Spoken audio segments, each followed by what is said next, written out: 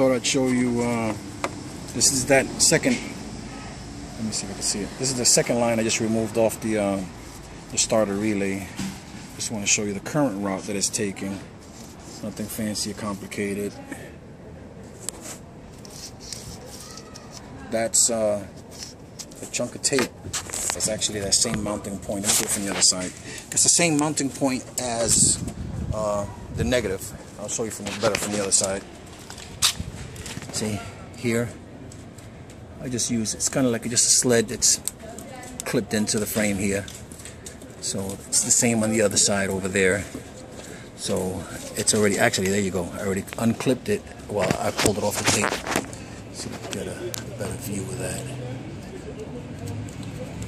See if you can see that there, spinning. So your little wire tie on this side, wire tie on that side, locks it in place. That somebody had it with just tape. I don't know why, but uh, a wire tie worked better. So this is the positive. It's not, you know, spaghettied into anything, pain in the ass, complicated. And it's gonna go nice and smooth. Okay, so I just wanted to show you that, and I'll be right back. Now that I have the gas tank off, I could, oh, well, not off, but up and out the way, I can show you the negative, how easy it was. It's the negative line right there. It just loops and goes under here. And you can see it over here. There's a factory mounting spot. I just use that same spot with a wire tie. And it just goes right to that ground. Oh, how well you can see it. Goes right to a ground spot right there. So it's not tricky, it's not hard, it's not complicated. Probably the most important thing out of all of this thing is the uh, your connections. Make sure your connections are as solid as you can make them. But that's the negative side. So the positive goes to the top of the starter right here. That's oh, there's a better view of the negative contact point. So this is your starter, which is the uh, well, top of the starter anyway and that's your contact point for your positive line which goes to the starter. So look out. Shouldn't be too much of a hassle. So after I snake it out I'll let you guys see what happened. Okay. I used the uh, the factory boot on here on the new line. I made the new I ran the new line but I use the same factory boot because it's curved and it'll give any uh, give a little extra protection to the edges of this contact point so doesn't anything falls drop a screw or whatever. So and also here's the uh, the point that I'm talking about the mounting point. Those little pieces that I just showed you they're barbed at each end so that when you put the wire tie it wouldn't slip off. So and then there's another little harness loom or whatever they call these things. So set it up so that it's not leaning on any metal. Going under the seat, back towards the battery. That's nice, Papi. What's up. And over here, it goes, you just saw over there, I don't know much well you can see, but so here they go. Here goes that loom I just showed, I mean the, uh, you know, mounting point for the cable right there tucks under here. I try to follow more or less the same path and it comes out and then here we go.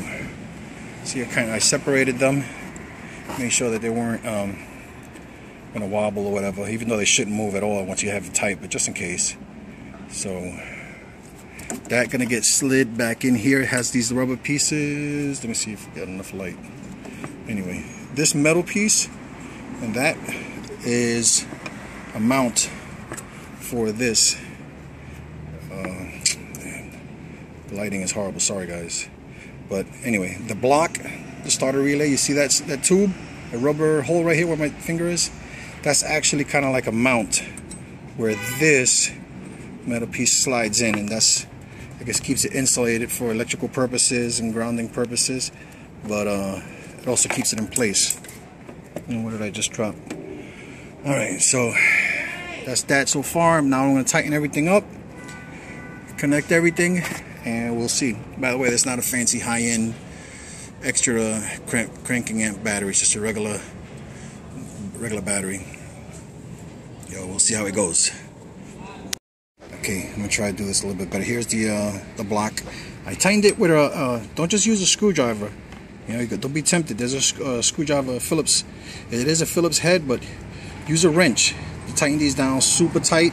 I'm not saying break them off, but uh, tighten them down super tight. And now here are the two barbs that the rubber sleeves connect onto. I don't think I'm gonna be able to show you doing this one-handed, but I'll give it a try.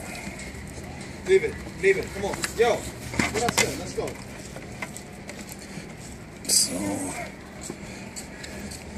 oh, first precaution, obviously, remove the uh, positive battery terminal, battery clamp, I should say. So now there you go. It's slid on. You see, it's on the barb, and it's in place. And now I've got to finagle these so that they're not sticking out so far. They should be kind of tucked in. Uh, I'll give you a.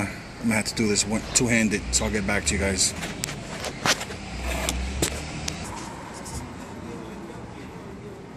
Okay, battery clamp is on. I'm gonna use uh, I use the same one, even though didn't think ahead about these extra wires. But anyway, that's on there for now. Uh, that's on. That's on. At least it has the little plus, so it looks a little bit cooler. And it's these are tucked in much better, so it'll go fine now with this in place. Uh, secured. Red positive line is secured there. It's looping around, and it's not touching anything that's going to be uh, abrasive or maybe uh, cause a short later. And I use the same boot to give it uh, protection in case I drop a screw, which I always drop a fucking screw somewhere. Alright, so that's on. I'm to call this job done. So from the factory 7 or 8 gauge to 4 gauge cables if you're wondering about why didn't you show how to set up a cable, the, uh, the lugs or whatever you call them, there's like 99 videos on how to do it, and everybody's got a different opinion. Use a hydraulic, use a hammer tool, use a this, use a that. I did it with vice grips.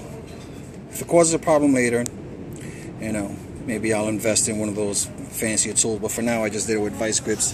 As fat as these wires are, and they're not uh, they're not being stressed to a point where um,